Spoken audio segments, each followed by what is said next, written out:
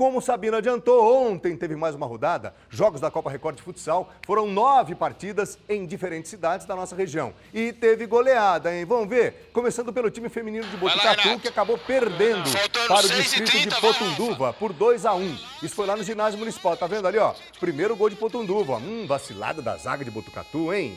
Aí a atacante foi lá e abriu a, a, o primeiro gol foi da Tayane, né?